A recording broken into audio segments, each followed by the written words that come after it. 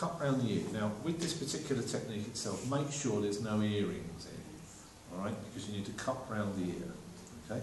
There's two ways of doing this, all right? And get the patient to lift the head up, so you can see the contraction of the scalene